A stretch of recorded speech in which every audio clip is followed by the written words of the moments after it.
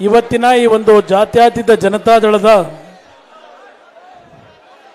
ಪುನಶ್ಚೇತನಗೊಳಿಸ್ತಕ್ಕಂಥ ಕಾರ್ಯಕ್ರಮ ಇದು. ಕಳೆದ ಮೂರು ವರ್ಷದಲ್ಲಿ ಜನತಾದಳದ ಬಾವುಟವನ್ನು ಏನಾದರೂ ಕೈಲಿಡಿದ್ರೆ ಅರಸಿಕೆರೆಯಲ್ಲಿ ಜನ ಬರಲ್ಲ. ನಾನು ಜನತಾದಳದ ಚಿಹ್ನೆಯನ್ನು ಇಟ್ಕೊಂಡು ಹೋದರೆ ಅರಸೀಕೆರೆಯಲ್ಲಿ ನನ್ನ ಜೊತೆ ಜನ ಬರೋದಿಲ್ಲ. ಅದಕ್ಕೋಸ್ಕರವಾಗಿ ಸ್ವಲ್ಪ ದಿನ ನನಗೆ ಎಲ್ಲರನ್ನು ಸಮಾಧಾನ ಪಡಿಸ್ಲಿಕ್ಕೆ,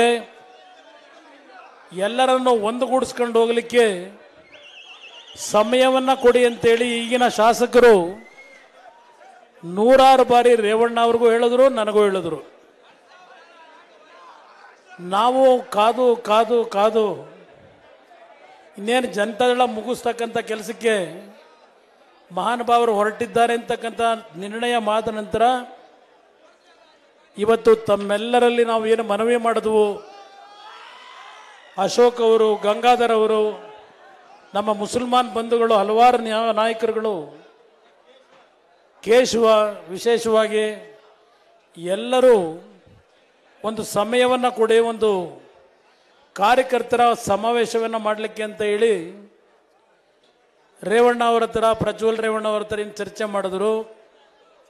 ಅದಾದ ನಂತರ ನಾನು ಪಂಚರತ್ನ ರಥಯಾತ್ರೆಯಲ್ಲಿ ಉತ್ತರ ಕರ್ನಾಟಕದ ಭಾಗದಲ್ಲಿ ಏನಿದ್ದೆ, ಅಲ್ಲಿಗೂ ಗಂಗಣ್ಣ ಅವರು, ಕೇಶವ ಮತ್ತು ಅಶೋಕ್ ಅವರು ಬಂದು ಒಂದು ಸಭೆಯನ್ನು ಮಾಡ್ತಕ್ಕಂಥ ಅನುಮತಿಯನ್ನು ಪಡೆದು ಇವತ್ತು ಇಂಥ ಒಂದು ಬೃಹತ್ ಸಭೆಯನ್ನ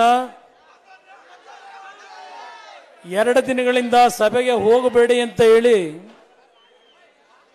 ಹಣ ಕೊಟ್ಟು ಸಭೆಗೆ ಹೋಗಬೇಡಿ ಅಂತಕ್ಕಂಥದ್ದು ಇದು ಪ್ರಥಮ ಬಾರಿಗೆ ಕೇಳಿದ್ದು. ಈ ರಾಜ್ಯದ ಇತಿಹಾಸದಲ್ಲಿ ಮತ್ತೊಂದು ಪಕ್ಷದ ಕಾರ್ಯಕ್ರಮಕ್ಕೆ ನಿಮ್ಮ ಕಾರ್ಯಕ್ರಮಕ್ಕೆ ಹೋಗದೇ ಇದ್ದರೆ ಹಣ ಕೊಡ್ತಾವಳಿ ಅಂತೇಳಿ ಹಣ ಹಂಚತಕ್ಕಂಥ ಕೆಲಸ ಪ್ರಥಮವಾಗಿ ಈ ಒಂದು ರಾಜ್ಯದಲ್ಲಿ ನಡೆದಂಥದ್ದು ಈ ಅರಸೀಕೆರೆಯಲ್ಲಿ ನೆನ್ನೆಯ ದಿನ ಏನಾಗಿದೆ?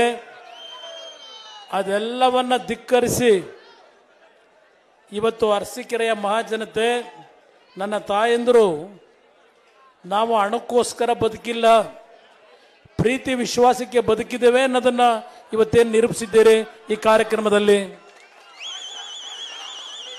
ನಮ್ಮ ಕೊನೆಯ ಉಸಿರು ಇರುವವರೆಗೆ ಇಂಥ ನಿಮ್ಮ ಅಭಿಮಾನಕ್ಕೆ ಯಾವುದೇ ರೀತಿಯ ಸಣ್ಣ ಧಕ್ಕೆ, ಸಣ್ಣ ಲೋಪ ಬರದೇ ಇರತಕ್ಕಂಥ ರೀತಿಯಲ್ಲಿ ನಮ್ಮ ನಡವಳಿಕೆಯಲ್ಲಿ ನಿಮ್ಮ ಜೊತೆಯಲ್ಲಿ ಇರ್ತೇವೆ ಇದು ನಿಮ್ಮ ಮುಂದೆ, ಇದು ನನಗೆ ದೇವರ ಸಭೆ.